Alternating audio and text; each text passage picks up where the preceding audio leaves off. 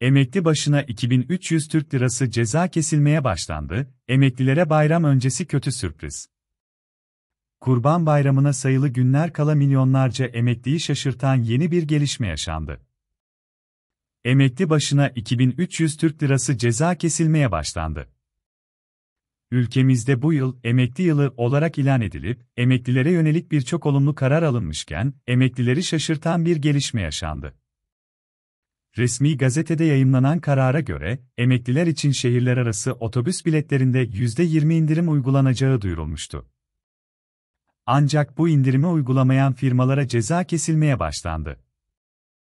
Türkiye Otobüsçüler Federasyonu Genel Başkanı Birol Özcan, sistemin iyileştirilmesi gerektiğini vurguladı.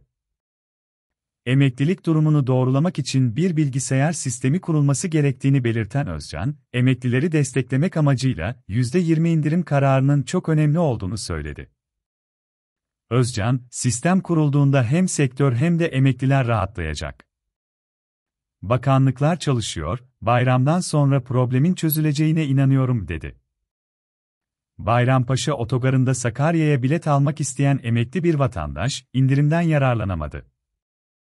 Emekli olduğunu belirtmesine rağmen firma indirim yapmadı ve öyle bir şey yok dedi. Firma yetkilileri, emeklilerin %20 indirimden faydalanabilmesi için emeklilik belgesini göstermesi gerektiğini ifade ediyor. Bakanlık, emeklilerin bu karardan yararlanabilmesi için emeklilik belgesini göstermesinin yeterli olduğunu belirtti. Otobüs bileti almak isteyen emekliler için %20 indirim uygulaması devreye alındı. Ancak bu karara uymayan otobüs firmalarına, emekli başına 2300 Türk Lirası ceza kesilmeye başlandı. Bakanlık, denetimlere hız kesmeden devam ediyor.